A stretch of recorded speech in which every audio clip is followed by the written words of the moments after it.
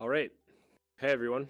My name is Rob, and I'm here today to talk a little bit about collaborative structure based drug design.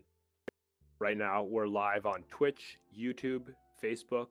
Uh, so make sure to come and check us out and learn a little bit more about what Nanome is about and how it's going to change the future of collaboration in molecular science. So, to give some background on today's stream, we just released a new blog post called Collaborative Structure Based Drug Design in Virtual Reality. It's up on Medium. Make sure to check it out. And this stream is designed to give a little bit more background and context to some of the points we made in that blog post. So, as we said in the blog post, um, solving proteins is hard, and that can kind of that's exemplified in that a single change to the code of a protein, which is the chain of amino acids that actually makes up the molecule itself. Just one change to those uh, in that sequence of amino acids can have massive implications on a structural, functional, and even physiological scale. So, we're going to talk about first the classic example of hemoglobin and sickle cell disease to illustrate this. So what I have here is normal hemoglobin, um, deoxy deoxidized form, and um, the oxidized form of healthy hemoglobin. So these two have the normal hemoglobin protein codes.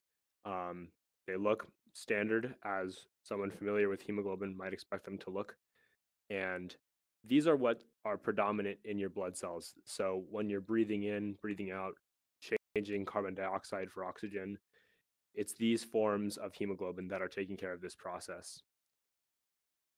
But in some people, there's a mutation, specifically the, the glutamate 6 amino acid in healthy hemoglobin is switched out for a valine amino acid.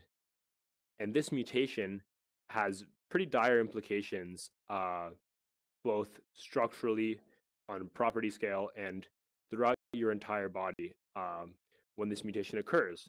And as most people watching have probably probably know, sickle cell disease is a uh, is a serious illness around the world, especially in Africa, and um, this is the this is the biological fundamental basis of what happens with sickle cell disease. This valine amino acid that's switched into the chain for hemoglobin causes dramatic has a dramatic impact on the way these proteins bind to each other. And if you check out our collaboration with MOOF University, you'll be able to you'll learn a little bit more about why switching glutamate for valine has serious implications. But for now, you'll just have to take our word for it that switching out the glutamate for valine changes dramatically the function and structure of the protein. So what happens is that these hemoglobins start sticking sticking to each other, or as we scientists like to say, polymerizing. So as your hemoglobin molecules polymerize, they create these long, stiff fibers in your blood cells, which eventually causes your blood cells to break, die, and that's where sickle cell anemia comes from, running having low low blood cell count. So um, it's an interesting example of how just one small property change, one one byte of the DNA code being changed has a huge impact on the expression and the person who has to deal with uh, this disease. So now that we've talked a little bit about the significance of protein codes, understanding the way amino acids work, and developing an intuition for the way these things look on nanoscale. Let's uh, talk about a structure, a structure drug design example. All right, so I'm gonna bring bring these over here. So as you can see, we've got three fairly similar looking molecules. They're actually all glycoproteins from Ebola. So let's take a step back. Why are we talking about Ebola? Wasn't that didn't that happen a few years ago? So one of the premises here at Nanome that we're trying to solve for in the future is that we have challenges that continually get harder in the drug design world. We have to combat superbugs that take out hundreds of people, and they get more complex as time goes on, it seems. So, what we need to do is understand better the mechanisms with which we get sick with and with which we can fight these superbugs. So Nanome allows us to get a better picture of what happens here. Coming back to these molecules in front of us, these are three different conformations of the glycoprotein from Ebola. In the center, we have the original conformation. Just looks like this. Um, and on these other molecules, on the um, on the left, we have a glycoprotein, an ibuprofen molecule bound to it, and on the right, there's a cancer drug um, bound to it. So scientists at Oxford University found that this glycoprotein, which enables Ebola basically to infect human cells, it enables Ebola to bind with and then enter into human cells.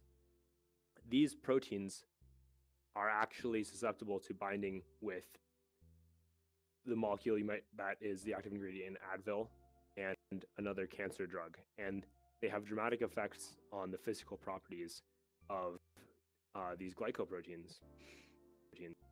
So, the point of this is that the scientists who discovered this at Oxford had no idea that these molecules would bind and have the effects that they do.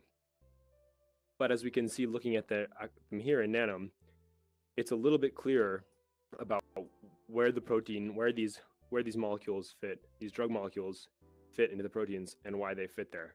They just kind of seem to work, as it were, when you look at them in virtual reality like this.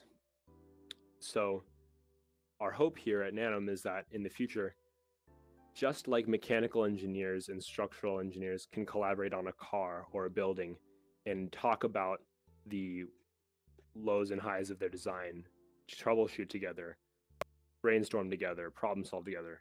We hope that protein engineers, chemists, biologists can come together in Nanome in the future and, have a platform with which to look at their work together to critically evaluate each other's performance, to look at the different proteins and brainstorm about what might fit in where.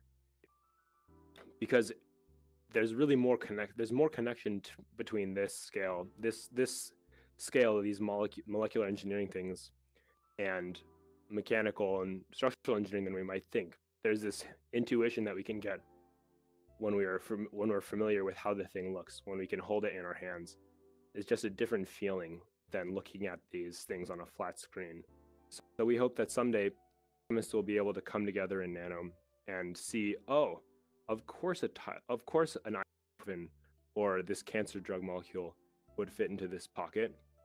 It's only logical based on the shape.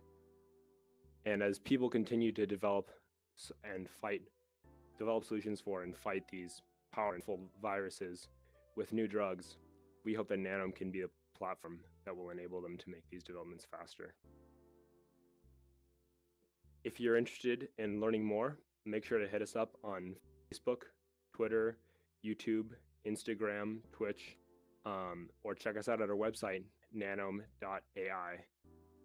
And platform is totally free for anyone who wants to use it. All you need is a VR headset and a VR ready computer, and you can download our software for free and make an account for free. Um, that's about it for today.